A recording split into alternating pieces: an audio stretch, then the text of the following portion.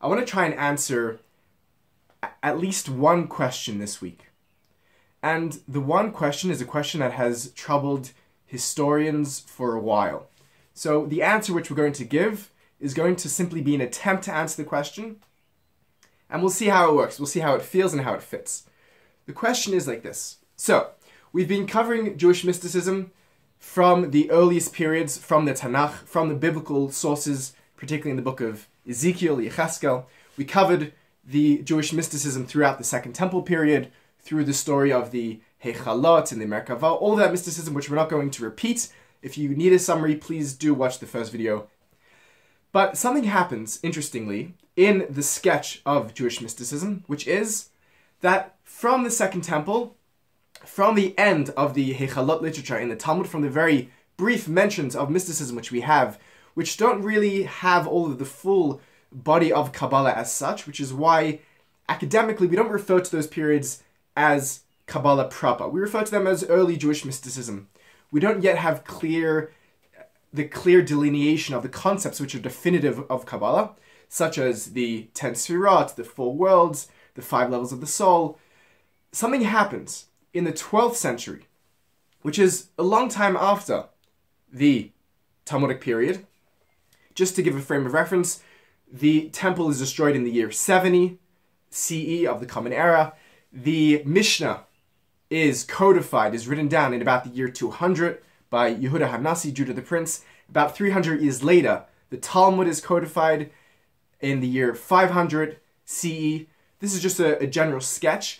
And from the end of the Talmud being codified from the year 500, what we have is the period of the Geonim, moving forward through the period, and in about the 11, 1200s, we have what's called the period of the Rishonim. This is just the way that we have a general rabbinic periodization of history. And in this whole period, in the whole Gaonic period, from about the year 500 till about the year 10, 1100, we don't really have much expression of Jewish mysticism.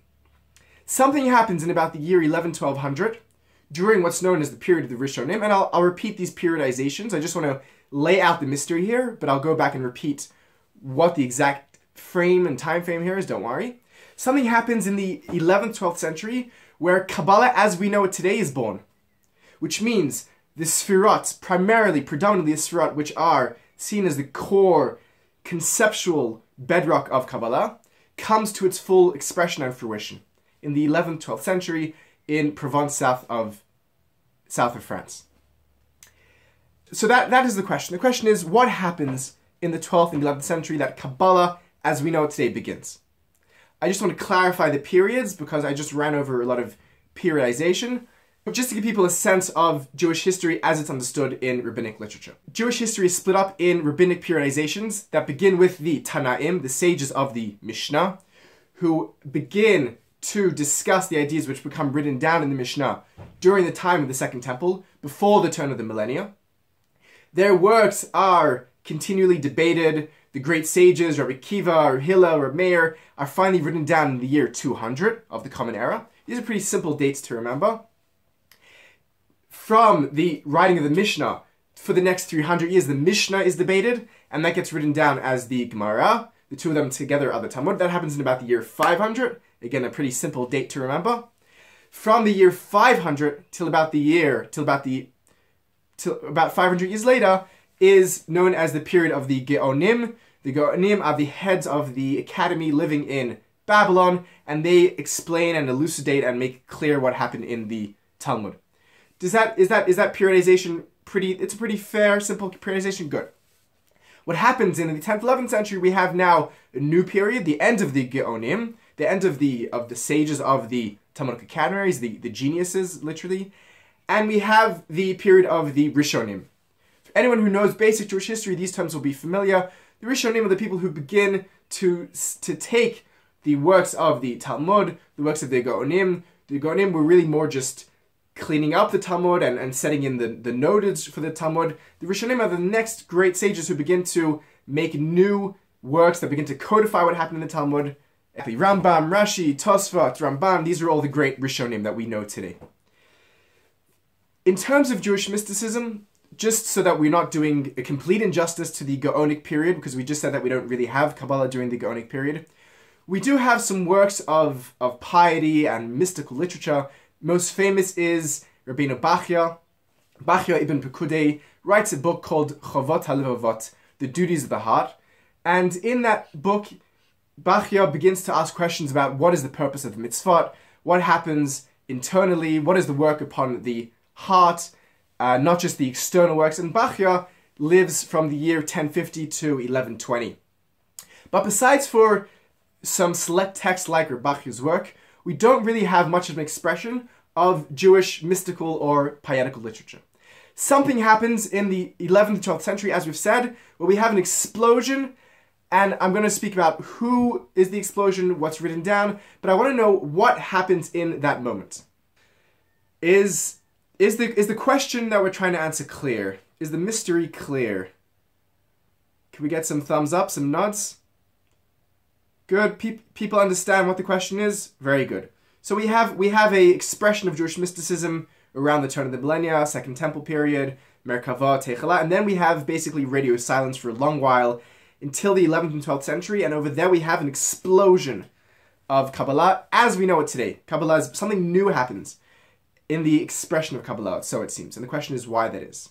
This is how we're going to frame the problem and how we're going to get to a solution there is a literary genre of Jewish mysticism. Jew- mysticism can be written in many ways. People can write mysticism in poetry, people can write it in metaphor, people can write it in, in theory. Jewish mysticism is written in one genre up until the 12th century, which is midrash. Midrash means, literally, it comes from the Hebrew word doresh or lidrosh, to explore, to excavate, to question, to dig in. Drisha, it is a form of what's known in, in the academic language, it's a form of exegetical practice. It's a hermeneutical practice. It's a term where we turn to a text and we dig apart the text and we ask questions and we find out things. We investigate the text to learn new things. That is Midrash. Midrash is split into two categories. There is Midrash Agadata and Midrash Halacha. Midrash Halacha is the principles of extracting law from the Torah, from the Chumash specifically. There are typically 13 principles of Rabbi Yishmael. There are other systems as well, but for all intents and purposes, that is one of the systems. And then there's a system called Medrash Agadata, where we do the same thing, but we're not extracting law from Torah. We're extracting morals and values and principles and stories and ethics. Anyone who has learnt any Talmud will know that within the same Talmudic passage, we have mixed in all forms of midrash. Midrash halacha, midrash agadata, and agada or agadata, different terms for it, is one of the bedrocks of Jewish literature, and Jewish mysticism is written exclusively up until the period of the Rishonim in the genre of agadata. Is that is that understandable? That's a fair point. Okay. And another, by the way, another term for agadata, we can call it the mythos of Judaism. Judaism has, if we if if we want to if we want to call it a, a mythology, not to not mythology in the sense of something that's not true, mythology as in truth told in the form of a story. Agadata is the mythos, the mythology of Judaism. Now, what happens in the 12th century is we have the mythos of Judaism, the Agadata of Judaism, encounters another force, another historical intellectual force, which the contrast of mythos in intellectual history, if anyone has studied the classics, the Greeks, what happens in Greece with Socrates, Plato, and Aristotle is that mythos meets logos. Mythos, which is truth in the form of story, meets logos. Logos literally means the spoken word, but it means it's no longer a narrative truth, it's a spoken truth.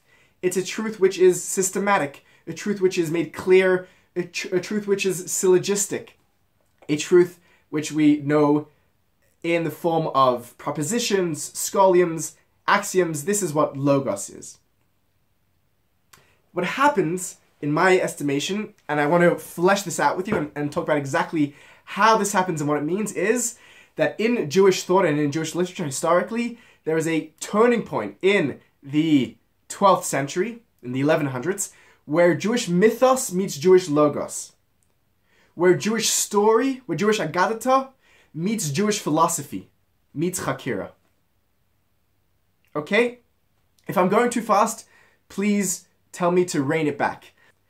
The meeting of Agadata with Chakira, the meeting of mythos with logos in the 12th century. By raise of hands, who here has heard of Neoplatonism? Because this is an important part of the story. We have one raised hand. Okay, I'm going to explain what Neoplatonism is because I think that we cannot understand this meeting, this, this meeting of these two oceans of Jewish story and Jewish philosophy if we don't understand Neoplatonism, which is one of the backbones, one of, one of the spines of Jewish philosophy, along with its counterpart, and along with its competitor, often Aristotelianism. So let's talk about Plato and Aristotle. I'm guessing that many people who came to a Kabbalah class did not assume that we'd be talking about Plato and Aristotle, but I think to properly, properly understand the philosophical history of Kabbalah, we need to go back to Plato and Aristotle and see how they make it in to Jewish thought and where that meets Kabbalah and what happens with that. And feel free to disagree, this is just my hypothesis. So, a bit of Greek history.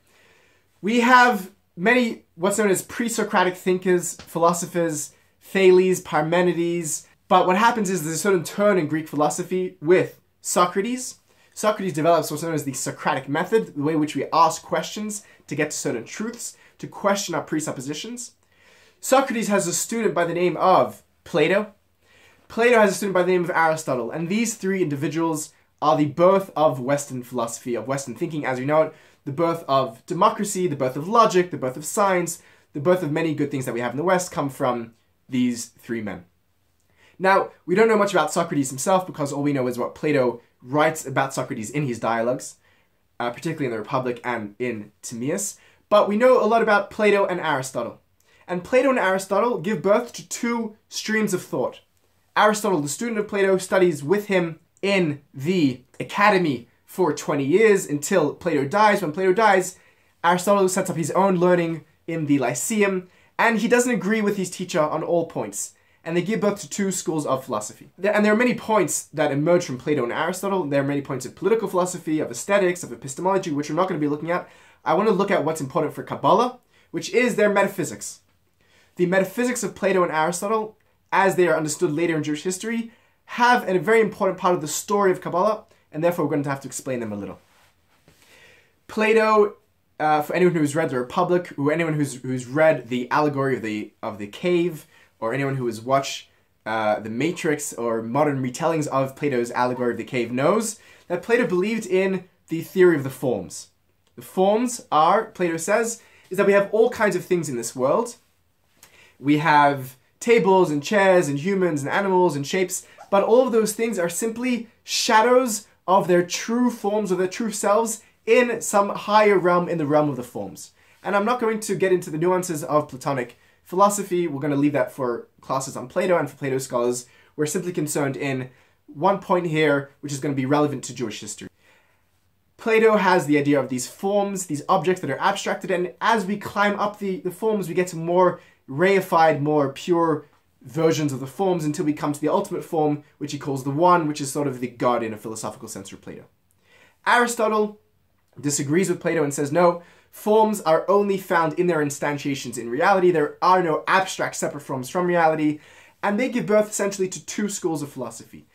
Plato's school gets taken up by a group of thinkers, which we now call the Neoplatonists, through, by the way, the work of a Jewish thinker, a Jewish philosopher by the name of Philo of Alexandria. Philo of Alexandria lives in the years at the turn of the millennium. He lives from 20 BCE to 50 CE over the turn of the millennia.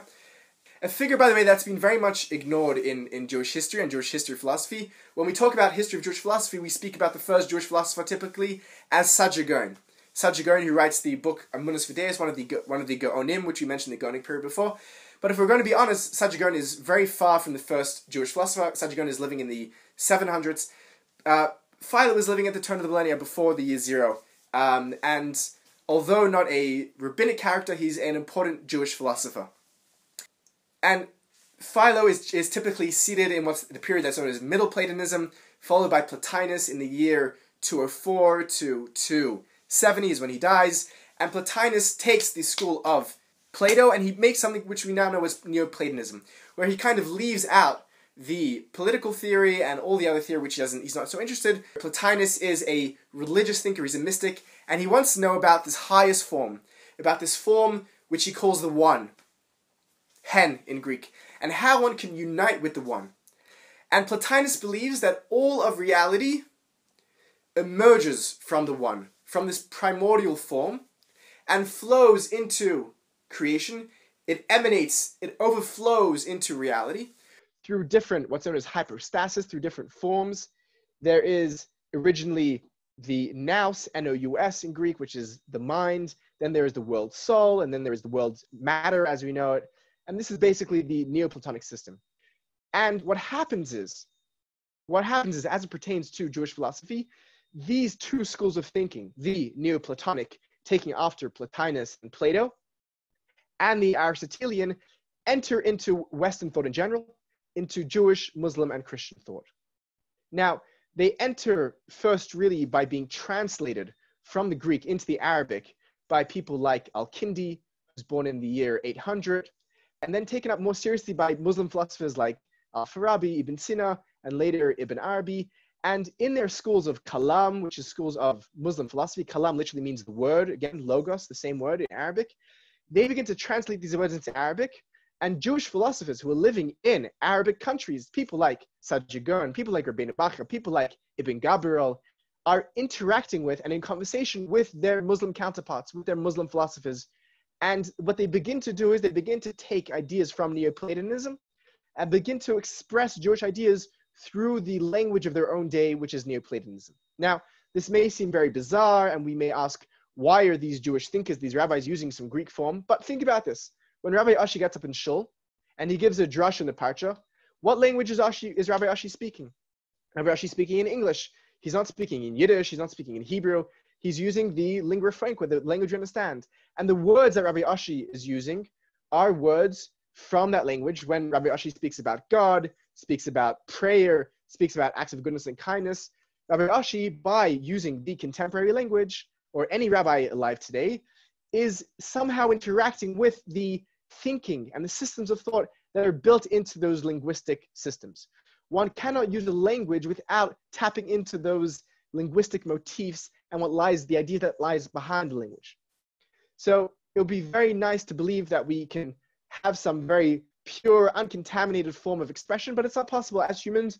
When we speak and when we communicate, we are contaminated by interaction, and sometimes that is good, and sometimes that is bad, but that is just a reality. And what happens is that Jewish thinkers begin to express their ideas in Neoplatonic language. There are other Jewish thinkers, most famously Maimonides, who shun much of Neoplatonism and instead turn to forms of Aristotelianism. There's a bit of a tricky part of this history because there's a very famous text called the Theology of Aristotle, which many thinkers thought was Aristotelian, but was really a translation from the Ennead, which is a work from Plotinus. But as far as they as far as they knew, they were pure Aristotelians. People like Maimonides, who was an Aristotelian, and then we have people that were the Neoplatonists. Most famously, people like Ibn Gabirol, whose dates were 1021 to 1070, and preceded a bit earlier by people like Isaac Israeli from 832 to 932. And these people are taking ideas from Neoplatonism and bringing it into Jewish mysticism. Let me explain how that happens in my in my understanding. Let, let me introduce you to a Jewish thinker by the name of Ibn Gabirol. Rabbi Shlomo Ibn Gabirol writes a book in the 11th century called Mekor Chaim, Source of Life, Fons Vitae in Latin. This book is lost in the original Hebrew but translated into Latin as Fons Vitae.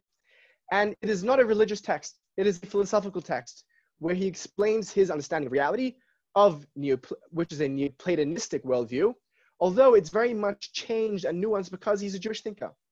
The main change that happens in the ideas of Ibn Gabirol is that he replaces the original emanation from the one, from God, where the Greeks said the original emanation was thought, was chachma, was nous.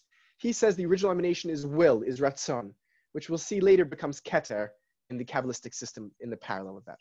Ibn Gabirol, and this is a very fascinating story. Ibn Gabirol writes this book. It's translated into Latin, And for hundreds of years, Ibn Gabirol's work, the Fons Vitae, is the textbook of Neoplatonism for the Middle Ages. If anyone wants to study Neoplatonism, they turn to Ibn Gabirol, to Fons Vitae, and that is where they're studying. That is the book that is given out in colleges and in high schools, so to say. Now, for many hundreds of years, we did not know who the author of Fons Vitae was. The Christian said it was a Christian. The Muslim said it was a Muslim. And the Jew said, of course, it was a Jew. Avicebron was the name that was given to it, some Latinized name, and no one knew what it was Latinized from. In the year 1846, a scholar by the name of Solomon Munk was digging up manuscripts in the French National Library, and he found a text from another Jewish philosopher, Ibn Falaquera, who references Mekor Chaim from Ibn Gabirol, Fons Vitae, Mekor Chaim, and he says who the author is, Shlomo Ibn Gabirol. And it becomes established that the author is a Jewish author, a Jewish philosopher by the name of Ibn Gabirol. And Ibn Gabirol retrospectively becomes the most important Jew- Jewish Neoplatonist in Jewish history. Ibn Gabirol we can set up in contrast to Maimonides, Maimonides who is the arch Aristotelian versus Ibn Gabirol who is the arch Neoplatonist. And one way of understanding all, the history of all of Jewish philosophy, Chakira as it's known, is a battle between these two streams of thought up until the modern period between the Neoplatonists represented by Ibn Gabirol and the Aristotelians presented by Rambam. What does all this have to do with Kabbalah, though, you're asking? This is a very nice introduction to history of Jewish philosophy and Western philosophy, but what does this have to do with Kabbalah? So this is, I believe, the crux of the mystery and where we're going to solve the mystery. What happens is that in the south of France, in the 12th century, there is a group of scholars who are studying Jewish mysticism. They're studying the Maaseh Merkava, they're studying the Hechalot, all the things we mentioned in class one. And in addition to that, they're studying the Jewish Neoplatonists, people like Ibn Gabirol.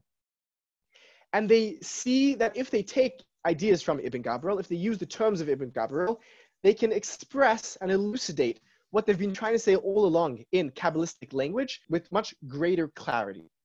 And what they do is they combine the Medrash, the mythos of Kabbalah with the logos, with the chakir, with the philosophy of people like Ibn Gabirol.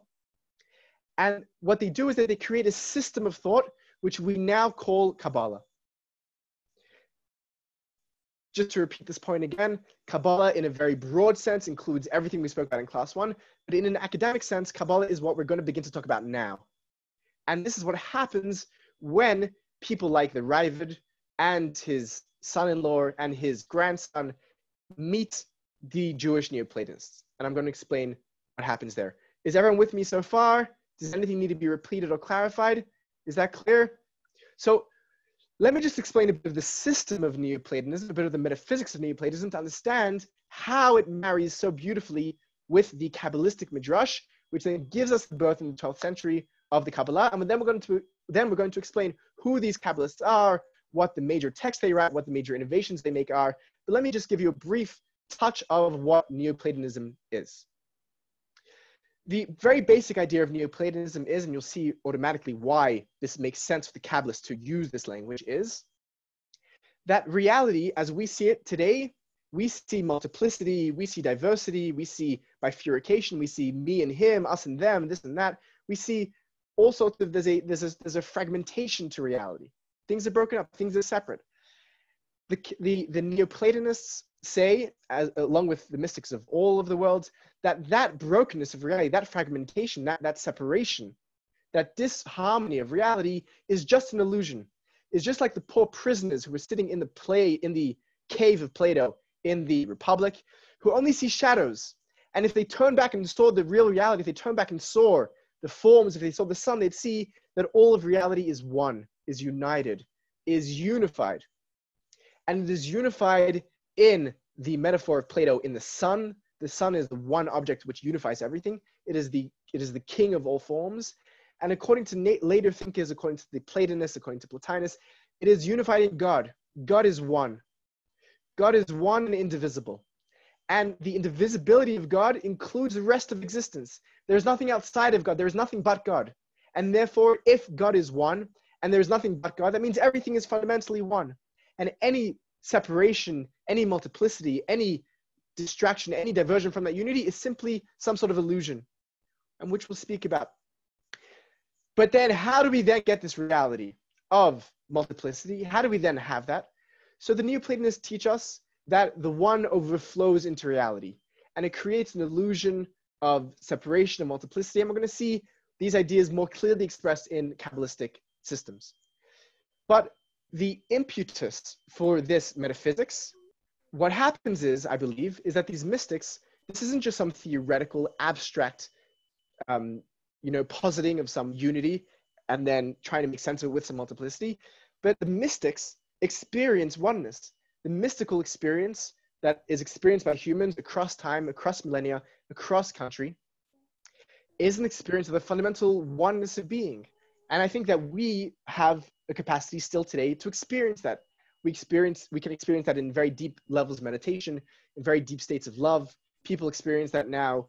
This is not a uh, condonance or condemning. People experience that on, on psychedelics. There are all different ways of people to experience the deep oneness of reality. And one, one, one, when one experiences the deep oneness of reality, the deep unity of reality, and they're confronted by the multiplicity that they see out there in the world, we need to hypothesize some sort of way that the one relates to the many. The problem of the one and the many becomes the central metaphysical problem for Neoplatonism and for Kabbalah. How does one, how does God, who is unified, who is uncontaminated, who is who is not broken into parts, how does God express and how does it manifest in this world of the many that we see? And the Kabbalists that are writing in the 11th and 12th century, who I'm going to introduce you to now, find very rich language in their brothers, the Jewish Neoplatonists, to explain this problem of the one and the many. Good? So now we let's now introduce you to those Kabbalists. So far, so clear? Good. So what we're laying out here is a system in history where the Jewish mythos, where the Jewish story, where the Jewish Agadata meets the Jewish philosophy, Jewish Hakira in the form of Neoplatonism embodied by people like Ibn Gabirol. Um, and I want to move now into the actual story of the 12th century. And I, we're going to see how far we can get. I'd like to cover perhaps up until the 16th century, but seeing um, in, in, in your mind, ideas move much quicker than they come out of your mouth. So we'll see how far we get and we won't try to push it too much. Good. I, I just want to mention something that I'm skipping so that we don't have any fanatics coming and sending me uh, angry letters in the mail because we are skipping an important moment in Jewish history. Uh, for all those that know, it is known as the Hasidei Ashkenaz, the German pietists is the literal translation, which is really centered around one family, the Kalonymus family, people like Shmuel HaChassid, Yehuda HaChassid, um, and most famously uh, Eliezer of Worms, the Rokeach. We're going to skip that moment in history not because it's not important and not because it's unrelated, but because I, I want to try and, and sort of streamline the storyline here to give you a narrative. And I feel like if we get into the Ashkenaz, we're going to be sort of pulled off the main story. So for all of those who are major diehard fans of the Chassidei Ashkenaz, please forgive me for skipping them for the purposes of this class. We can get back to them another time. Now, I want to move you geographically to the south of France to Provence, down at the bottom near the Mediterranean. In the south of France, there are a group of Kabbalists, a family. They are, it's a bit confusing because the first three of these sages share the same acronym, the same name, the Raavad. The most important one for our purposes is Rav Avram ben David, who anyone who knows uh, Talmudic literature knows because he was the great Talmudic opponent, the great halachic opponent of Maimonides. And it is Avram ben David, the Raavad, who begins to talk about the Sfirot as we know them, the tree of life, the system which we discussed in the very, very, very first class. His son, Rabbi Yitzchak Sagi Nahor, Rabbi Isaac the Blind, is the very, very first Kabbalist who begins to write down in length what the system of the Sfirot are and how they work. He attributes the tradition to his to his father and his father-in-law and his grandfather to the earlier Raavads of history. But it's really Rabbi Yitzchak Sagi Nahor, the first person who begins to take this language and put it into written form for us. Again, a, a historical caveat. There are texts which predate this moment in Provence. These texts are definitely Sefer Yetzirah comes before this. Sefer HaBahir almost certainly comes before this, um, although it is a complex question of how that text is dated. I'm not going to talk right now about the about these two texts, about Sefer Yetzirah, Sefer Yetzirah and Sefer HaBahir. We're going to come back and talk about the primary texts, and I'm going to explain to you the role that these texts play, but I want to shelf those for the moment and talk about the characters, the people, the people that make up the story. Reb Yitzchak Sagi Nahor begins to write down this system, begins to write down the system of this Sfirot as we know them, taking early references from these earlier texts that we mentioned, and begins to lay out a clear structure and clearly the Sfirot as we know them today. Sirat as they appeared earlier are used in a more amorphous sense, as Kabbalah and the rest of history are expressed most clearly first in Rabbi Yitzchak Sagi Nahor, attributing the tradition to his predecessors to the Raavad predominantly. Now, I spoke about the more positive aspect of, of the history here, that Jewish that these Kabbalists were borrowing systems and language from their Jewish philosophical brethren, from people that preceded them, like Ibn Gabirol, but there is also a reactionary part of the story here, which is the greatest philosopher of Jewish history, hands down, is Maimonides. When we talk about the Jewish history of Jewish philosophy, we talk about pre-Maimonides and post-Maimonides. Jewish philosophy is split in half by Maimonides. Now, the Jewish Kabbalists, and this is kind of the, the alternative theory which is sometimes stressed by historians, that, that as opposed to the system which I, the, the hypothesis that I put forth, which is that the Kabbalists were merging their midrashic, their mythological, their readings with the with the logos, with the philosophical, with the rational systems of Ibn Gabirol. There is a there's the other side of this coin, which is it was a reaction against Maimonides. Why is this? What were they reacting against? And this theory makes makes does make sense, and we're going to see why. It makes sense also because, as we mentioned, the Raavad, who is the teacher of Yitzchak Sagi Nahor, the very first Kabbalist to write down this right as we know them in Provence, was the Talmudic and halachic opponent of Maimonides. So we see that there is some historical opposition already here. So this is not a far-fetched claim. What did Maimonides say that was so troubling to these Jewish Kabbalists, to these Jewish thinkers? Firstly, as we mentioned, Maimonides was an Aristotelian. He was a follower of the metaphysics of Aristotle. He writes that himself very clearly. And in his main philosophical work, in Moreh Nevuchim, he tries to synthesize and make peace between Aristotle and Genesis, simply put, and other aspects of Jewish thought. These Jewish these Jewish thinkers were Neoplatonists. They were students of people like Ibn Gabirol, who are the philosophical nemesis of the Aristotelians. What did what did Rambam say that so disturbed these Jewish thinkers? I think it was one thing in particular. Rambam is very aware of the traditions, of the midrashic traditions of Jewish mysticism, of what we call the Maaseh Merkava, the stories of the chariot of Ezekiel, and Maaseh Bereshit, the story of the creation that the Kabbalah spoke about. And Maimonides says that we have no Masorah, we have no tradition about these systems. They may have existed in Jewish history, but they are lost to us now.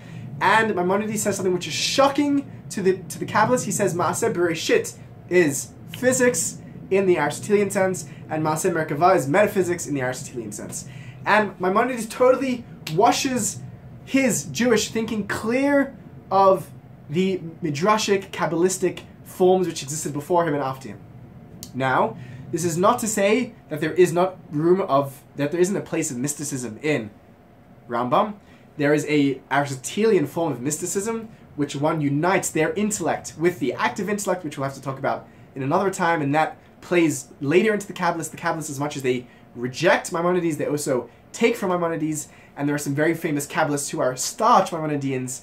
People like Abraham Abulafia, one of the great Jewish Kabbalists of history, writes not one, not two, but three commentaries on Nevuchim, on the philosophical magnum opus of Maimonides, more than any other human in history. But in these very, very first moments of Jewish philosophy, this claim of Rambam that we have no Masorah, that they that the traditions of Maaseh Merkava, of Maaseh Bereshit, have not been passed down to us in a faithful way, is something which the mystics abhor.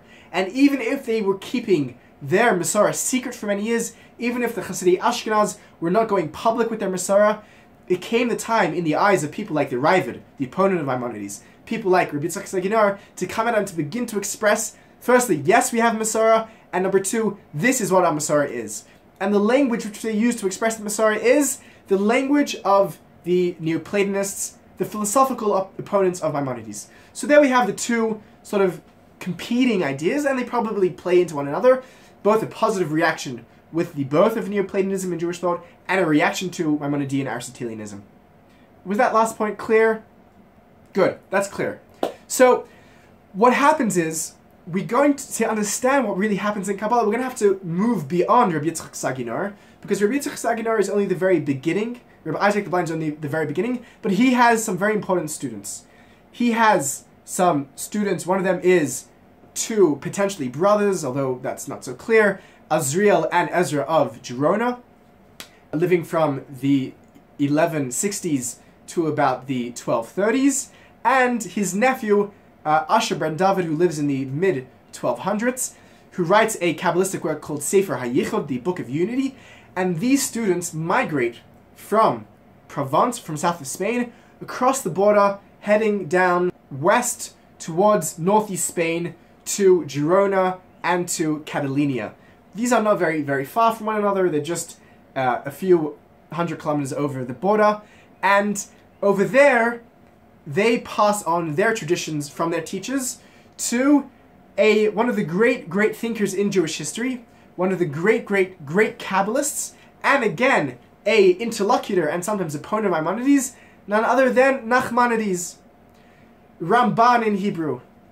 Their names are very similar and sometimes they get confused, but Ramban, ending with a nun, an N, as opposed to Rambam, ending with an M, Maimonides and Nachmanides. Ram, Ramban does something which is very, very important. Ramban, whose dates are 1194 to 1270, living in northeast Spain, near the border, Nachmanides does something which is very important, which is that he takes these Kabbalistic traditions that he's receiving from Ezra and Azriel of Gerona and Asher ben David. It's not so clear exactly who he learns from, but, but these are the things which are put forth, the ideas that are put forth, the potential characters who pass on the tradition to the Ramban. And the Ramban, a major, major thinker in Jewish history, takes Kabbalah and introduces it into his pirush, into his interpretation, into his explanation of the Chumash. The Ramban writes a commentary on Torah, and the Ramban is the first person to take the ideas of Kabbalah and to begin to explain Chumash based on Kabbalah. The reason this is so important is because while not everyone is going to be learning metaphysics, and while not everyone is going to be learning Kabbalah, everyone is learning Chumash.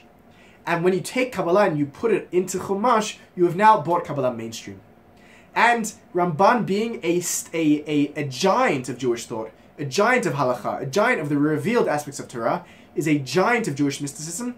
And what happens now is a really transitional moment in the 13th century where Kabbalah is brought mainstream by using it in his interpretation on Chumash. And any child, any adult who now learns, who now learns Chumash with its commentaries, will be learning Kabbalah with Nachmanides, with Ramban. In addition to that, the Ramban has a, has a, a circle of students. Most famously is the Rashba, Reb Shlomo ibn Aderet, who is most famous again as a halachic thinker who writes thousands of halachic responsa, uh, and a student of Maimonides, a student of Nachmanides, who also begins to teach Kabbalah. Uh, other student, another student of, of, of Nachmanides is Isaac of Acre, who travels from Israel to Spain, studies with Nachmanides, and begins as well to write works of Kabbalah. And other characters like Rav Yaakov ben Sheshas and other characters in that time period.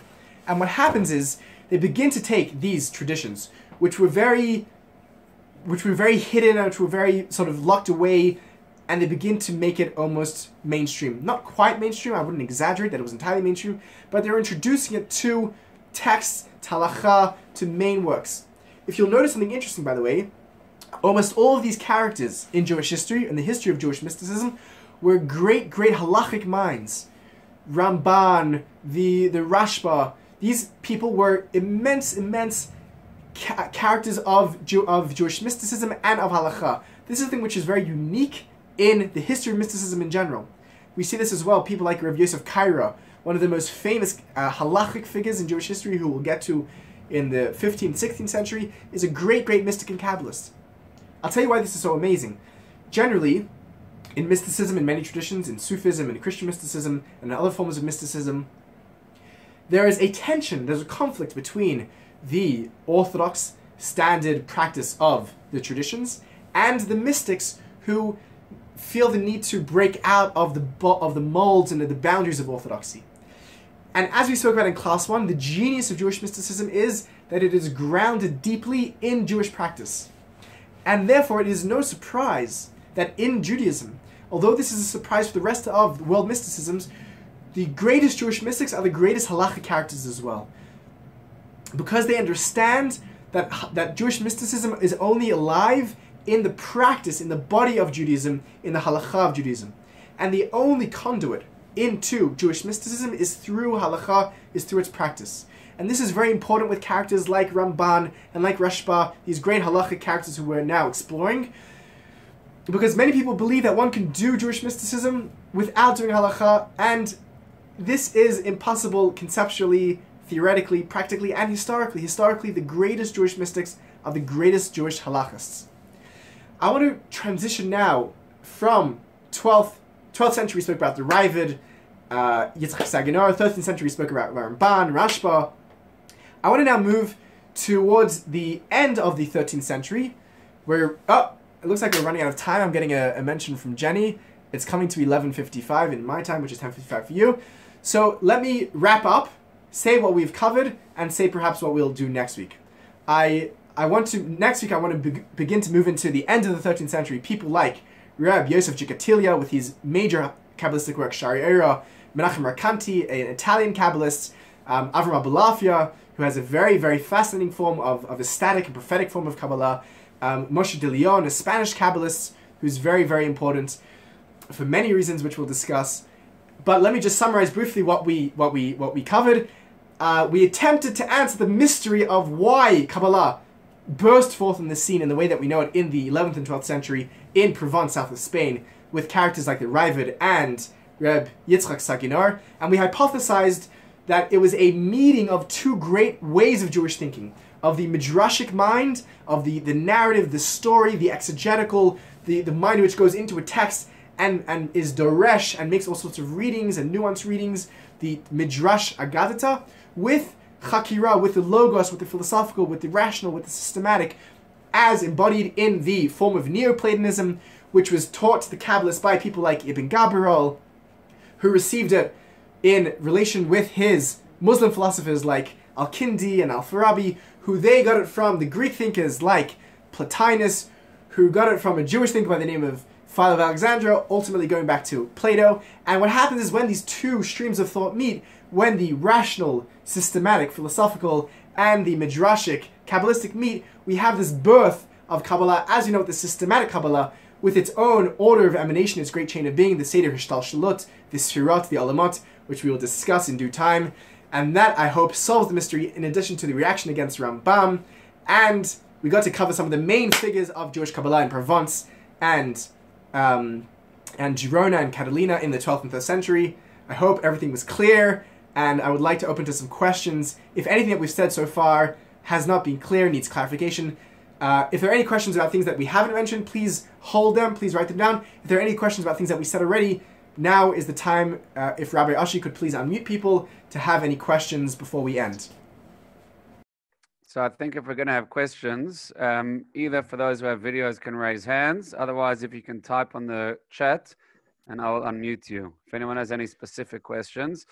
Uh, just before that, just to say thank you everyone for joining us and thank you Zevi for trying to cram in a lot of info and historical context into a short period of time and uh, giving us a lot of food for thought. Yashakoyach, thank you so much. If anyone does have any any questions, I think it would be interesting, Zevi, if you've ever done a a talk just exploring more about the to explain a little bit more in depth the clashes of perspective between the Neoplatonism and the the Aristotelianism, like those two schools of thought, and Definitely. what from a Jewish mystical perspective as to why they are at loggerheads. Uh, you did sort of briefly talk about it, and obviously this isn't the place in this share to get too much in depth of that. But I think that based on the fact that you use that as a foundation for your your hypothesis, I think it might be interesting if if either you've done a video on that or if you know of other videos that you could post on the chat that people could learn more about that. I'd be, I mean, I'd be one, it'd be interesting to know if anyone has done such a video before to explain the, the differences. Because obviously the Raavad and the Rambam were at loggerheads, as we know, but you're actually using the cause of that loggerheads, that the one comes from an Aristotelian background, the other one from a, from sort of the Neoplatonist background. So it'd be interesting to explore that further in detail. I'm not sure if you have you ever done that before. Um, no, it's not something which I which I have done and I've recorded, and it's something which is worth exploring. And, and there are resources that explore it in a more general context of Aristotelians versus Neoplatonists. But it'll be very interesting to be done in a Jewish context to see what that debate means for Jewish thinkers. Because um, essentially, that's the crux of your argument now, and it's interesting to it would be interesting to explore that. Yeah, yeah, we'll have to explain, you know, more essentially how how Platonism and Aristotelianism differ on theory of the forms, um, how they conceptualize the infinite uh, is is a crux of the issue, whether infinity can exist in abstraction. So they, they differ on they differ on some very interesting metaphysical uh, questions. Questions of, I mean, one, one of the big issues for Jewish philosophy is the infinite is is the question of infinity, uh, particularly in relation to the existence of the world did the world always exist or or did the world begin at a certain point? And obviously, for Jewish philosophers, the world beginning at a certain point was very was very uh, fundamental because we know from from Bereshit from Genesis that God creates the world, which means that the world didn't always exist.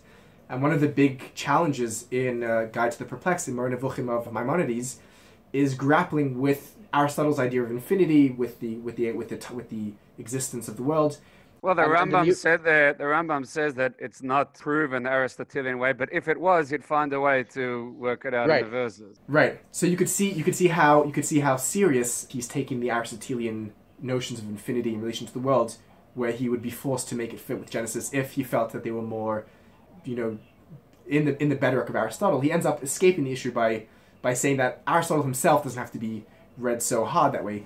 But but the basic understanding of the way which they conceptualize infinity is is very fundamentally different between the Neoplatonists and the Aristotelians, and I think that that metaphysically, along with their, and, and I think that ties into their, their theory of the forms and the way that the two of them read it differently. So you don't really think that of... the, you don't think the spheres and and the kabbalistic uh, construct would fit with Rambam's understanding or his perspective, his philosophy? So, see, this is the thing in Rambam slash Aristotle's theory, you don't you don't really have. Okay, so it's, it's a very interesting question.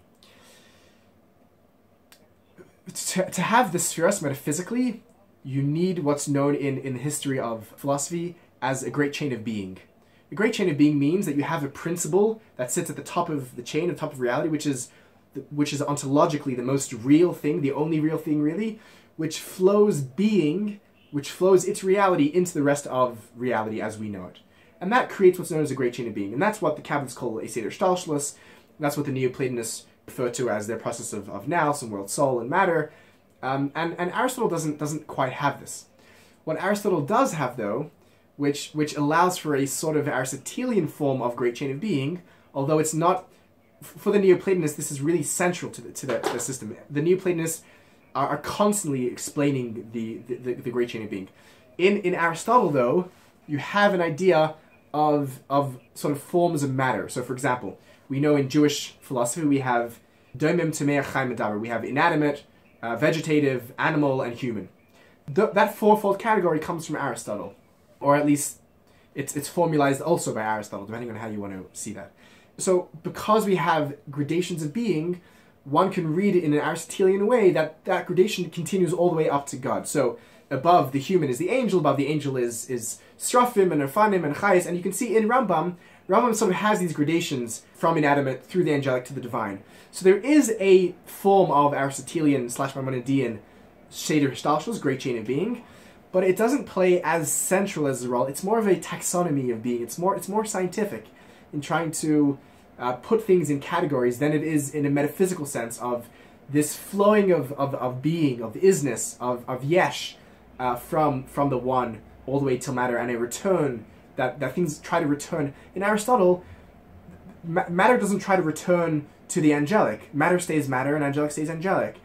In, in Neoplatonism, the goal is to return to the one, is to become is to become the one again. Mm.